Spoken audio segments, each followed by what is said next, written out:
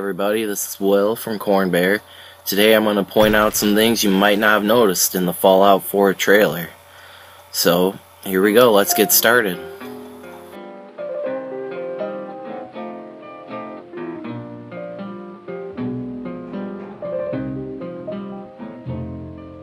So the first thing I noticed is this clock up here is set at 9.47 like all the clocks are on the east coast in Fallout 3 kind of cool they paid enough attention to that. Here we can see him just pan out, show us kind of the destruction, and we get the first cut back to the pre-war time. Then they come back, we see the dog come in. Folks, uh, the announcer's talking about what's going to happen with Great War. Breaking news, stand by. So we see the dog explore some more. The Mr. Handy box is right there from what we saw earlier in the trailer to forget about how much I care for you. We seem to have lost contact with our affiliate stations. Stand by. We do, we do have. And here it kind of takes the bleaker turn to where we're used to in Fallout, not the happy-go-lucky time. And then right oh here they switch over. Here's before, and here's after. Nice to see they focused on both times. Our soldiers were right. And then here it happens again, before and after.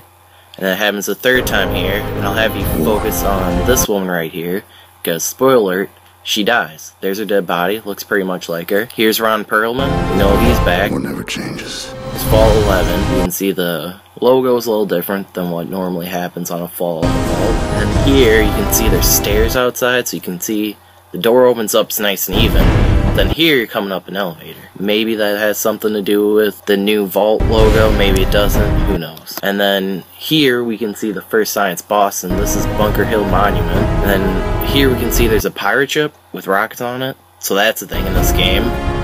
And then here we can see a mysterious stranger in front of Scollay Square, another identifier that the Fallout 4 is taking place in Boston. And then here, these might be super mutants, they might be someone in power armor. Not sure. And then here we can see Protectrons have been updated since the last couple games. And then we get this guy, a badass Deathclaw who looks like he's been tripping on roids all of his life. Vertibird, these might be new ghouls, nothing we've seen before it doesn't look like, but who knows. Here we can see Fenway Park, showing again it's Boston, but what it seems to be is Fenway is now a city, based on these scenes right here. There's a blimp flying over the Paul Revere monument. Vertibird giving you a nice overlook of the city, and then here we can see the city seems more dense than what we're used to in Fallout. Dense doesn't necessarily mean better, but it could be more interesting. And then here we can see the elevator door again, lifting you up. Of course, then the bomb goes off, saying the place where we're used to in Fallout. Alright, in the last scene here we get to see the Frankenstein power armor. It looks like it's mostly Brotherhood steel armor. It could be partly Enclave. Not sure if the protagonist gets to wear it, but it'd be pretty cool if we do. Then here we see the protagonist approaching. We figure out he's from Vault 111, and then dogs can be your companion. Let's go, pal. Here we can see things on the end of a weapon. Maybe mods are back for this game. They're pretty cool. And the last thing here, of course, it's Fallout 4. Hopefully I've told you some things you didn't already know. Point out a couple things you might not have noticed. If you liked it, please hit like.